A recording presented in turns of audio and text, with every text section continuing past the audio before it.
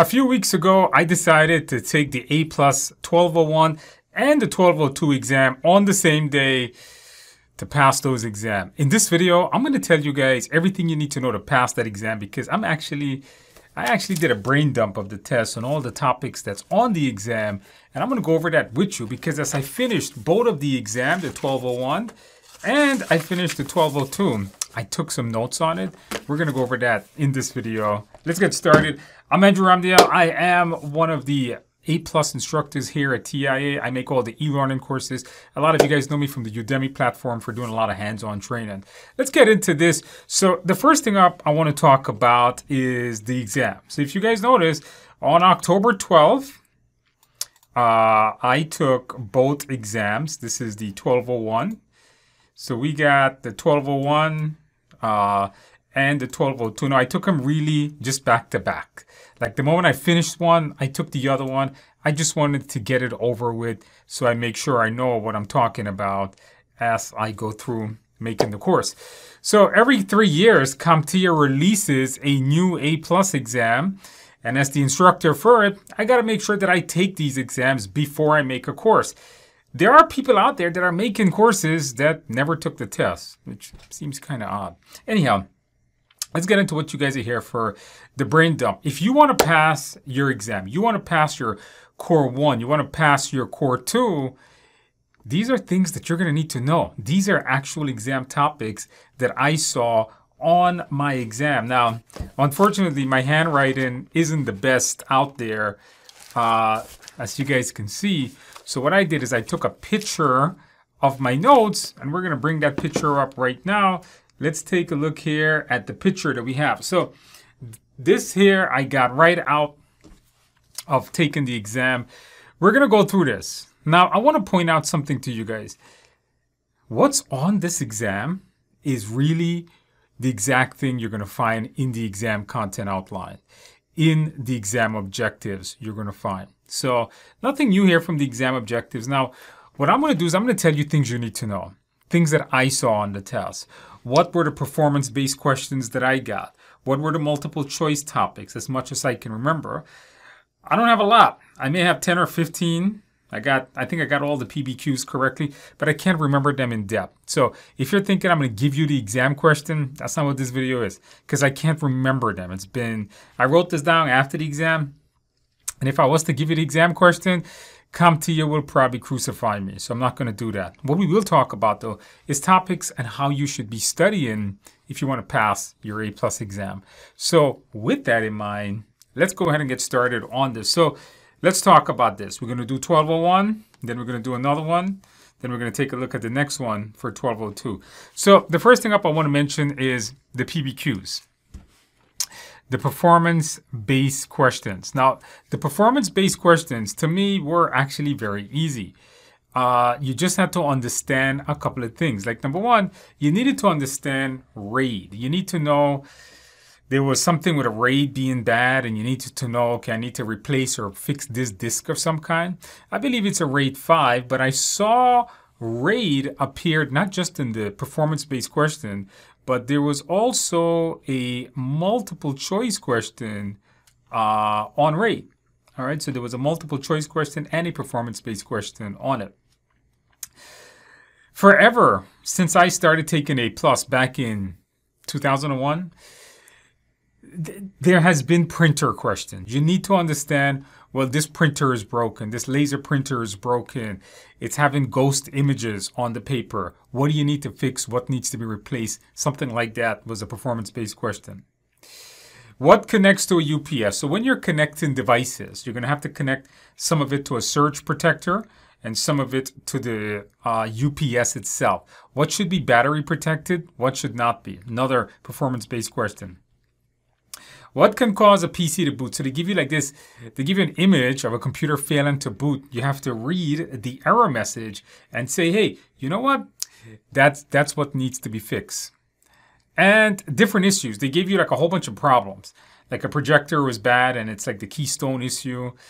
Um, this laptop is not booting. This phone has a problem. And then you need to select an option. Hey, that's the way you would fix that particular problem. These are not difficult, not difficult at all. if you do my course, you go through the hands-on training, you do the labs that I have. I have a whole bunch of labs in my course. You're going to find those, in my opinion, to be pretty easy. Now, the multiple choice questions. This here was pretty quick. By the way, it took me about 40 minutes to finish the whole test. Now, multiple choice questions, things you need to know. You need to know different types of DNS records. What's an A record versus a quad A record versus a TXT record? Well, a TXT can be used for things like email, securing your email servers. A quad A record, that's used to do domain names to IPv6. And an A record is going to be used to do IP domain names to IPv4. You need to know DNS records. You need to know RAM. When is optimized RAM? Like ECC RAM versus when you should use dual dual channel RAM or, or triple channel RAM. Troubleshooting steps. Quite a lot of these like something is going wrong. What should the technician do next? Uh, RAID. Know your RAIDs one. Your RAID 0, 1, and 5. Those are going to be the most popular RAID. Oddly enough, I still can't believe that the current A plus exam has dot matrix printers on it. Understand the print heads on dot matrix printer and they still work with ribbons. Uh, networking devices. Know what's the difference between a switch versus a managed switch versus something like a router. Uh, know protocols. Not a lot of questions, but know SMTP, IMAP, POP3, FTP, know different protocols that are out there and what they're doing. You don't have to know how to configure them, but you just have to understand them. Um, hypervisors and virtualization. You better know the difference between a hypervisor 1, a hypervisor type 1, and a type 2. Now, in the course, remember, we covered that in depth. I do a lot of labs on that for you guys. Screens. So this here is like you're going to be building a machine uh, you got to know when to use solid state drives uh, versus a normal hard drive. Like a normal hard drive is really slow versus a solid state drives. Um, cloud computing, know the characteristics, know things like elasticity. That's that's the characteristics of cloud computing. All right, when you're building a gaming PC, what can slow it down? Well, use an SSD on the gaming PC. Um, port to use for a gaming PC. Things you should understand the different types when you're building a gaming PC. Use an SSD. Use a graph. You know what type of graphics card should be using a gaming PC versus not. Uh, wireless networking. Know what's the know what's the pros and cons of 2.4 versus 5 gigahertz and IP addressing. For example, if they give you an IP address, you got to say, well, if I select this can communicate with that. So they're going to say the router's IP is this. What IP should you assign to a device? Understand your different classes, ABC. Understand your APIPA address was also a question on there. All right. That is what the 1201, some of the questions that I saw. Was this was this hard? No. It does require some memorization on your part and understanding the technology, but overall, I think it was a pretty easy exam. All right. Moving on here to number uh, test number two that I took. Now this one I actually forgot a lot of because I've been doing exams for like three, four hours at this point, and I got pretty tired. But I did hit those PBQs though. So let's take a look here. Um, oops, I lost my pen there. All right, so let's take a look at some of the things here that we need to understand. Number one, uh, the, the first PBQ if I remember right, is going to be on this. There's something with services. Computer, some services are not working, and you have to understand, hey, that service needs to be turned on or disabled or enabled, would be the first one. Um, the other one is a ticket. They're going to show you a bunch of problems. Like user submits different ticket in there. They can't connect to this server or their computer is not functioning well. How should you solve that? That's pretty easy. There was a really easy one about classifying email. I can't remember too much about it, but it was like you receive an email and it you have to read the email and say, well, that's spam. They're selling something.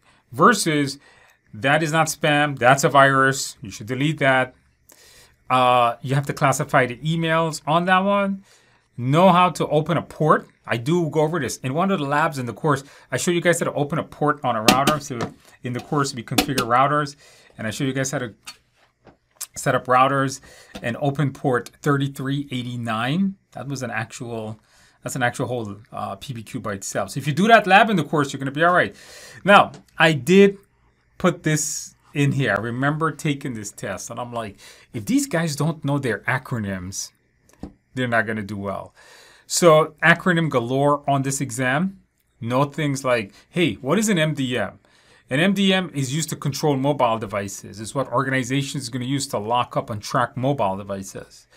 Privilege access management. This is how we manage privilege accounts, privilege account management. This is going to be when you have administrators, you have a lot of people, different administrators uh, access, you need to manage that correctly. Those accounts should not be given out to anyone. Um, so PAM, MDM, hardware requirements for Windows 11, like TPM. All right, when installing Windows 11, you must have a TPM 2.0 on that motherboard or at least add it onto the motherboard. If not, you can install it. Understand multi-factor authentication. When to use something like an authenticator app. All right, something happened with a computer. Is it spyware? Is it Trojan? Or is it ransomware? Know the different characteristics between these kinds of viruses. Know different terminology, like something like an NDA or EULA, or a, a policy of how you manage user, acceptable use policies within an organization. Uh, static electricity is still on your exam. If you guys know in the core one, we, we set up the static mat, and I showed you guys static bags and uh, using anti-static wrist straps. Find that out in the course. Uh, Linux and Windows command. You should know different Linux and like net use to manage network shares. Know how to know like what command in Linux should do certain things. You don't have to execute them. In the course, we go through a lot of Linux command and I really go in depth into them, but I show you guys how to actually use them. So you're just not memorizing them, but practice that lab, practice all my um, labs in the course when it comes to commands. I think you're going to be just fine. And of course, know what a VPN is. Know when we should be using VPNs. All right. This is what I got. That's what I can remember when taking this exam. Now, if you if you look at it, it's not really much different than what's in exam objectives. That's why when I make the courses, I make them to the exam objectives because everything that's in that A plus exam is in that exam objectives. If you know it really well, you'll be able to pass your exam. Now, if you want to take my A plus class, I think you're going to enjoy it. Here's what we did. For my core one, I had a little bit of a problem. I needed a gaming PC for my house.